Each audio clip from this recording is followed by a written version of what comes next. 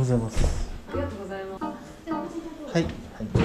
おわあアイベックをかわしてると思って。そうそうそう。YouTube ちゃんとチェックしたんですありがとうございます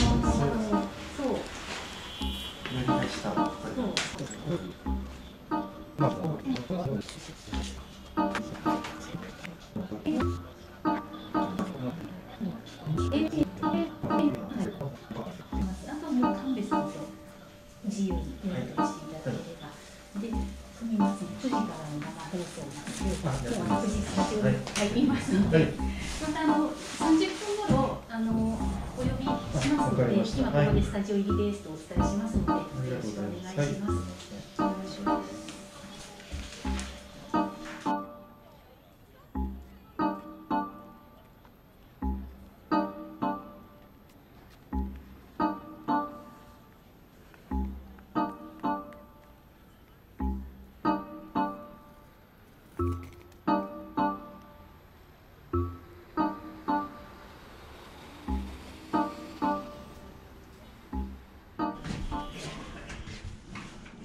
いします。失礼してパネルがあるから、はい。池上さんと神戸さんはマスク外してていただいて結構なので、ここが向かい合ってる2人はあって、ただ私は隣にいるから、私の方はそテレビが、の、はい、えー、その話はさせていただきますが、あの楽しみ。なんかお好み焼きの話が出てたから関西弁で喋っていいですか、あ、関西、え、ご出身？関西なんですあ、そうなんですか。あ、本当だ、大阪大学教育大学、なるほど。ぜひぜひ。お好み焼きだけでくくると、大阪風と広島風どっちかとか、そういうのでもメッセージテーマになっちゃうんですけど。あはい。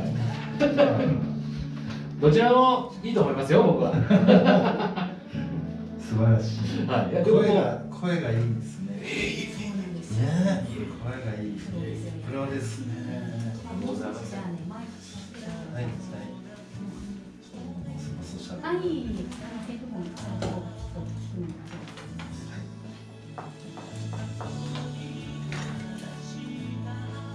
の徳川ってい。はい。ぜひね、その場所を選んだきっかけとか。はいはい写真入れます。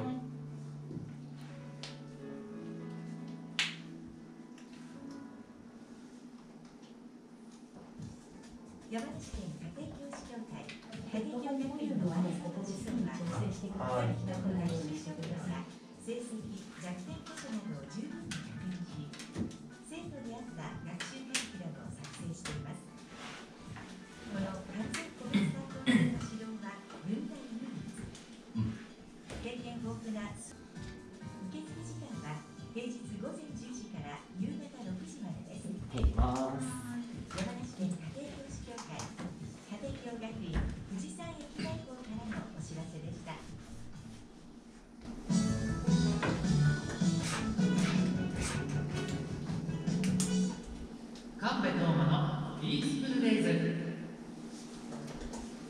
時刻は9時36分になりました。今日はこの時間ゲストをお迎えしています。打楽器マリンバ奏者の池上秀樹さんです、えー、普段はですね最近川口湖に富士河口湖町に移住されたということで今日はねちょっとその話もお伺いさせていただきたいんですけれども、まあ、あの初めにね私からちょっと簡単ではありますがプロフィールをご紹介します。8歳からジャズドラムロックドラムをはじめさまざまなジャンルのバンドで演奏。その後クラシック音楽と出会いその世界に衝撃を受けてパーカッションマリンバを始めます。大阪教育大学を経てロームミュージックファンデーション野村国際財団より奨学金を受け1997年パリ国立音楽院パリ国立高等音楽学院へ留学。同年第46回ミュンヘン国際音楽コンクール打楽器部門で最高位優勝そして同じく97年よりパリ日本記念公演ベルリン室内音楽フェスティバルミュンヘンジャズモアフェスティバルケルンフィルハーモニーでの公演などなど世界各地のフェスティバル現代音楽祭に招かれています。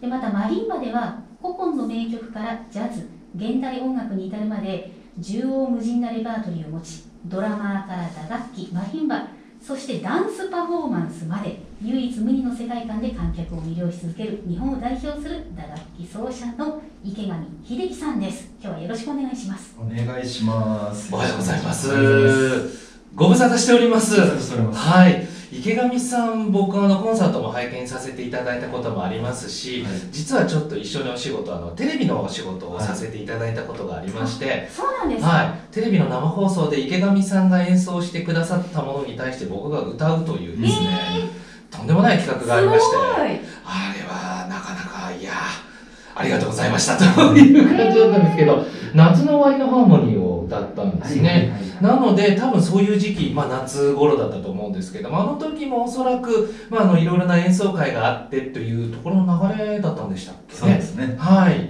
えーあの池上さんあのさまざまなコンサート、えーこのね河口湖エリアでも、えーたくさんされている方なんですけれどもあの今実際河口湖にお住まいということで、はい、どういうような環境のところにお住まいなんですか？今あの富士金っていうところにねあの、移住したんですけれどももう周りはね牧場だけです、なのであの森じゃなくて草原。はい。周り全部草原。その中にこうまあ別荘地なんでちょこちょこっとこう家があるっていうそういうところに引っ越してきました。はい。うん。家をもうあの建てられたということまあなんですか、まああの新築ではなくてあの、はい。あるものを買ったんですけど。あああなるほど。であのまあやはりお家でねいろいろできることも増えたと思うんですけれども、はえおうちお披露目コンサートそうなんです。を、はい。これをやられるややったんですか？あの今回初めてなんですけど、あのそうですね。ずっとやりたかったんですけどねすぐ本当は引っ越してやりたかったんですけど、はい。まあ、なかなかねできない状況で。で今のところはねおまあ、お庭もバーっとこうあってでこう家のこう窓を開けるとこう外にねベンチとかはい並べてでこう移動キッチンのあの最近キッチンカー流行ってますよね、はい。そういうあのスペイン料理のキッチンカーの人気の人にも来てもらって結構こうちょっとパーティーみたいなお披露目コンサートをしたいなと。あこれからなんですね。は、はい。それはすごいですね。まあもちろんこうあの一般の方はいけないと思いますけれども、はい。ええ。ただもうご自身のお宅でということであの打楽器池上さんさまざまな打楽器をねされていると思うんですけれども、はい。多分結構スペースを必要とされるものとかもありますもんね。あの実際今の環境で、まあ、窓を開けて開放的にとかってなかなかさすがにそこまではどうですか？難しいですか、できます。あできます。本当ですか？できます、はい、ご近所さんのこととか何も気にせずに自由にじゃあ音楽活動できるんですね。そうですね、はい。今多分隣のうちが200メートル先ぐらいじゃないでしょうか。あそこまで離れてればいいですね。あの僕もこちらの鳴沢村っていうところに家があるんですけれども、おそらく隣の家までまあまあ距離がええ。100までは離れてないんですけれどもでそちらの方も音楽家の方が住んでいらっしゃるようで結構あなんか作業をされてるなとか聞こえてくることがあるんですけど、結構遠くから聞こえてくる楽器の音色って何かいいなって思うんですよね。まあ素晴らしい方はそういうふうにおっしゃってくださいますけど、まあはい。毎日ね10時間ぐらい練習するので、はい。それが毎日続くとねちょっと大変かもしれないです、10時間です10時間。か。もしかしてそういった練習環境もはい、決め手でしたそうかですそうです。もうそれ、はい。そのそれしかなくて東京にいる時ももうそのやっぱりそういう問題で56回変わってるんですよね。はい。うん。でまあどこがいいかなって、まあ、川口湖もいろんなとこ見たんですけど、うん。そこの富士金っていうところ全然知らなかったんですよ。そういう地域が、はい。で行ってみたらなんじゃここヨーロッパのねそれこそ留学してた時代のヨーロッパの田舎みたいな草原がバーって広がってて、うん。でそこにポツンとあってなんかこれ最高というなんかまあちょっと一目惚れみたいな感じではい。あここに住みたいって言って住むことにしました、何かいろいろなね心の中でのご縁というかそういうものがつながったということですね、はい。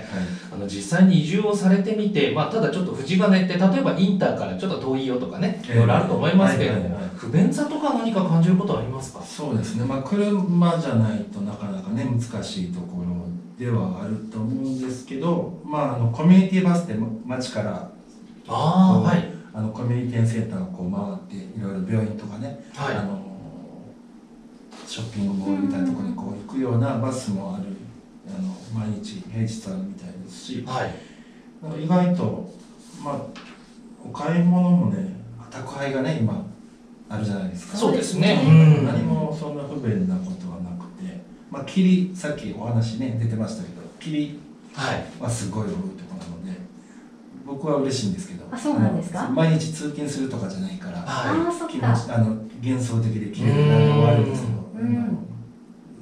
僕にとっては結構いいところですね。いはい。まあ流通であったりまた今オンラインで何でもできる部分もありますしそうですね。はい。うん。なるほど。であの実際にこちらにまあ本格的に住むことになってから、はい。どうやら楽器の音がちょっと変わってきたなっていうお話があると伺ったんですが、まあ本当に全くほとんど他の音が聞こえないような場所なので国道からもちょっとこう離れてるので自分のこう音を聞くだんだん精度が上がってきたというかやっぱりね東京だとな静かなんだけど車の音がとか何かがずっと音が鳴ってるような状態だったんですけどそれが本当にないのであのその結構こ今年入ってからコンサートすると変化に気づいてくれる方いらっしゃいますね。あそうなんですか。気持ちの面でもそうだし実際にその耳がというところでいくともう完全に、まあ、体自体も変わっているというかそうみたいです。そういうことがあるんですね、はい。へ声も変わってきたって言われましたねこの前ーあそうですか、はあこちらに来てから食べる量とか変わりましたか、食べる量はね そんなに変わらないです。はい。そういうのもなくで。へはい。え、じゃあ本当に何か心の中体の中からどんどん綺麗になっているというかそういうことがあるんでしょうそうでしょうかね。うん。そうわ面白いな。なるほど。あのそして今まで池上さん結構いろいろなところにねやはりまあその音楽家ならではの事情というか、はい。その防音のところを探してとか、ええ。そういうところも含めてで結構お引っ越しが多かったとはいいうことですけれどもただまあ今後はもうこちらの河口湖にきちんと根を据えてはい。え何かいろいろな文化を広げていきたいとかそういうご希望もあるんですね。まあ、あの今回そのお披露目コンサートというまあサロンコンサートですよね、はい。でサロンコンサートって、まあ、コンサートするもちろんそれだけが目的じゃなくてその地域の人たちのその場でのいろんなつながりそこでみんなご挨拶したり知らない人がはい。つながったりとか、まあ、またちょっとその地区の政治的にちょっと偉い方がうん。来てその地域の状況を見たりとかいろんなその役割があると思うので、そういうのにこう役立てるっていうかはい。その一つの部分にコンサートがあって、まあ、もちろんそこでお食事するのもそうですしなんかそこで知り合わない人が知り合って、はい。今度なんかこういうことしましょうかとか、文化ってそういう全くね損得がないような表向きはってないっていうのかな なんかそそういうふうにこうパッと手を取り合えるような、うん、環境なので、はい。でそういうものに、まあ、まずやってみたいなと。でその後はまあまあいろいろそういう学校を教えたりとか、はい。そういうこともやりたいですし、はい、そういうふうに思ってます。あの藤金の地元の皆さんもおそらく池上さんと触れ合えることをすごく心待ちにされているとか楽しみにされている方多いと思うんですよねはい。僕も藤金であの敬老会で一度歌わせていただいたことがあるんですけど、え公民館ーがあありますね、はい。ええとかはい、そこで歌わせてもらってものすごく感謝されて、えーいやーなんかいろんなものを得て帰ってこられたなと思ったんですけれども、えーそういった機会がね地元の皆さん増えるっていやーこれ羨ましいですね。うん。贅沢なことだなと思いますけれど、そうですね。はいいいですね。そして今お話の中にもありましたがこれから例えばまたあのご指導をされるというか教えるということもまたね今お家がいい環境にあるということで池上さんのお宅でレッスンとかそんなようなこともいずれどうなんですか、まあまああのーちょこちょこ、はい。すごい行きにくい場所ですので、ね、電車で行くのにはちょっと大変な場所なので、はい。なかなかあれです。まあちょこちょこ来られる方がいたりあとまあ毎年あのお世話になっている川口湖のね音楽祭で、まあ、今まではただこう演奏をさせてもらうだけだったんですけどこっち来てからマスタークラスって言って、まあ、日本全国から音大のね、卒業生とか音大生とかにこう参加してもらって。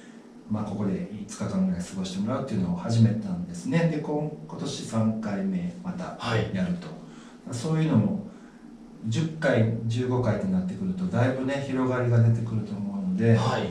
あのやっぱりここにいるからできることややっていきたいなというふうに思ってます、うんなるほど。マスタークラス。これはあの打楽器マスタークラス打楽器とかマリンバ他にもね他の楽器も音楽祭ではあるんですか？なんかやってる年もありますね。あサックスやってたりとか。ははい。い、多分そういう教育的なプログラムも増やしていきたいと思ってると思うんですね、音楽祭としては。池上さんご自身がこの河口湖の音楽祭参加されてから今何年ぐらいになるんですか？正確なこと言わないと怒られそうだけど1回目からなんですよ。ずはいっとなんです、え何年ぐらい前に？20回かな相当でももそうなんですう深いですよね。まあ、結局それがきっかけで河口湖にね来だしたしそれで何回か住んだりとか、い、ろんなことしてて。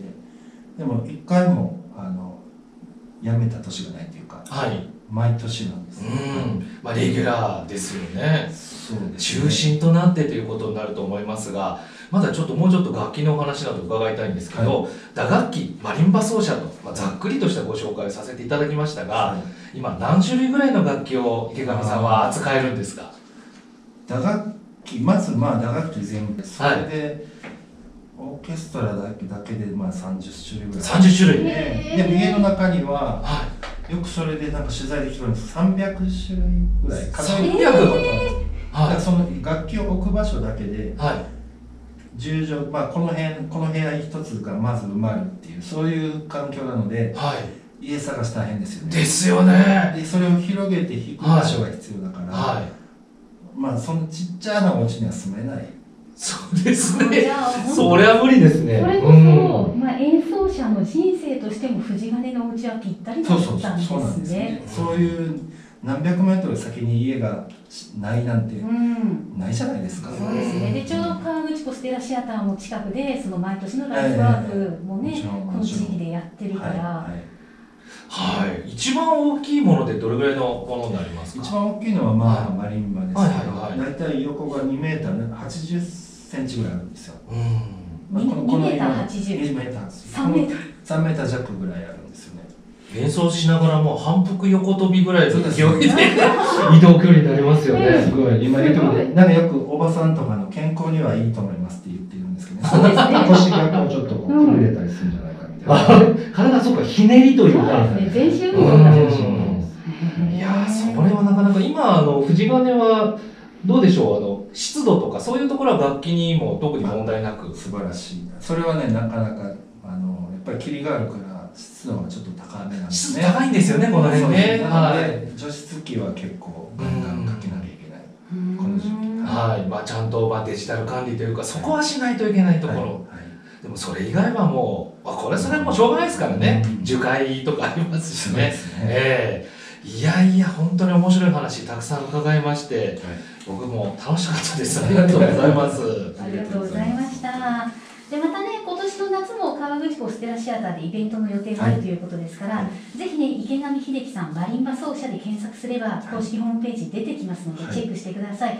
で最近ね YouTube の活動も活発になさっているということで、私実は YouTube ホームページ、えー拝見したんですね。はい。でこの後ちょっと紹介したい曲があるんですけれどもあの J−POP はい。もマリンバ打楽器でカバーされてますよね。そう好きな人だけですけどね、はい。キングヌーとか、はい。本当に最近の流行りのバンドもカバーなさってて、はい。ちょっとびっくりしたんですけれども、めっちゃ好きです。めっちゃ好き。であの画面4分割で一人で打楽器、マリンあーなるほどなるほど。バあの一人オーケストラやってみたっていう動画があるんですが、私その中ですごく気に入ったものがあって、池上さんがね今日そちらも紹介していいよということですから紹介させていただきますね。でなのでこの後曲かけるんですが、ここで一旦締めますね。はいはいはい。えー今日この時間は打楽器マリンバ奏者の池上秀樹さんをゲストにお迎えしお話を伺いました。池上秀樹さんご出演ありがとうございました。ありがとうございました。ではここで曲紹介しますエメ IBECU なんですがあの私も以前神戸さんと共にね FM 藤山の番組で代役を務めた際に紹介したんですが作曲家の梶浦由紀さんが私大好きなんですけれどもあの池上さんもお好きなんですよね、はい好きです好きです。はい、はい。好きなアーティストも同じです。ごく嬉しくなっちゃって。ちょっと10秒ちょっと僕フラメンコもやっててそういうイスラム系の音楽大好きはあそうなんですそれかでこのこの曲も最初の出だしが突然そういう感じなので、はいもうすごい好きえですすみませんあのフラメンコを踊る？踊る方。踊る方ですか？はいはい本当ににダンサーでもあるんですね。多彩 すごい。そしてご自身の YouTube チャンネルでこの曲「一人で打楽器オーケストラやってみた」というね弾いてみたっていうやつでこの曲演奏してましたので、ぜひね YouTube チェックしていただきたくてその前にこれがもともとはこういう曲だったんだよということでお届けいたします「エメ I like you」